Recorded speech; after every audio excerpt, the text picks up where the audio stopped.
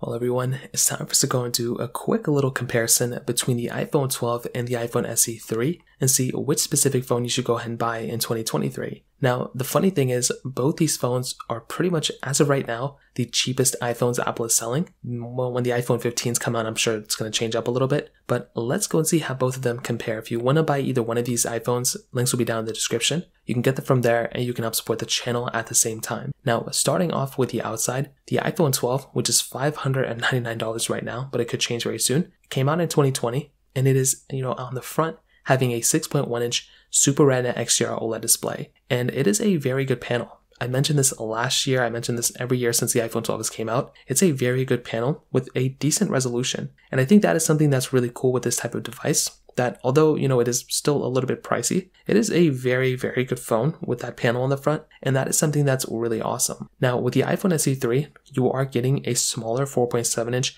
Retina IPS panel on that device, the resolution is not nearly as good, but I will still say it's a pretty good looking device. The resolution is okay, and overall, although the panel itself is okay, the rest of the body on the iPhone SE3 doesn't really look that great. It is a very older, outdated type of body, and that is something that I've never really been the biggest fan of of the iPhone SE3 because it does look like a little bit of an older device. You know, we all kind of know this, it's no secret. So, again, that's just one of those things you're going to have to keep in mind with that specific device. Now, another big thing is that with both of them, they both have lightning ports. They both have a lot of the, you know, Apple things going on with the outside, you know, Touch ID, Face ID, those kinds of things. IP certification on both phones as well. On the back, glass backs and we have the camera systems in the top left we'll get into in a second, wireless charging, MagSafe capability on the iPhone 12, which is pretty big, and overall, the iPhone SE3 is a much smaller phone compared to the iPhone 12, but I'll still say the iPhone 12 is a, you know, it's a bigger phone, but it's definitely better in a lot of different ways as well, and the iPhone 12 definitely looks like the better phone on the outside for sure. In the camera department,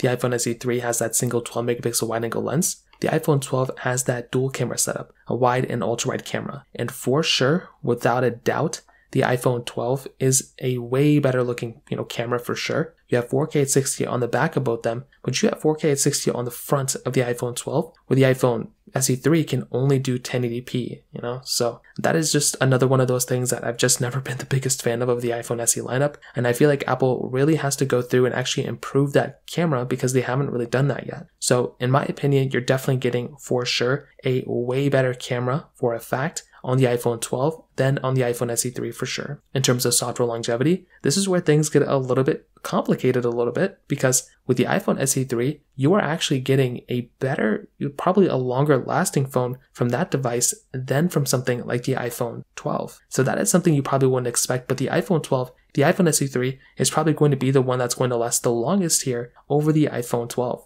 So I think that's going to be something that's very interesting. Again, I guess we'll see what happens in the future there, but as of right now, that's pretty much what we're seeing as of, as of this point. Now, in terms of the iPhone, you know, comparison in terms of performance, the iPhone SE3 has that Apple A15 Bionic chip inside of it with 4 gigabytes of RAM, where the iPhone 12 has that Apple A14 Bionic chip inside of it or 4 gigabytes of RAM on that device. And from my from what I'm basically seeing as of this point, you are basically getting a longer lasting phone once again and a better performing phone from the iPhone, you know, SE3 than from the iPhone as than from the iPhone 12. So that's another pretty big crazy thing going on between both these devices. You would never think that a phone that looks like the iPhone SE3 is the faster one here, but that is basically what's going to happen. But that doesn't necessarily mean that's going to be the iPhone that's going to always feel the fastest. Because of the, uh, you know, gesture-based design on the iPhone 12, you are definitely getting a feeling like that iPhone is definitely faster or performs faster or smoother. So that's just another thing to kind of keep in mind. But between both, I would say the iPhone SE3 is probably the faster one, but the iPhone 12 is still a very fast phone too. So to kind of sum it up, what I'll definitely tell you is between both these devices,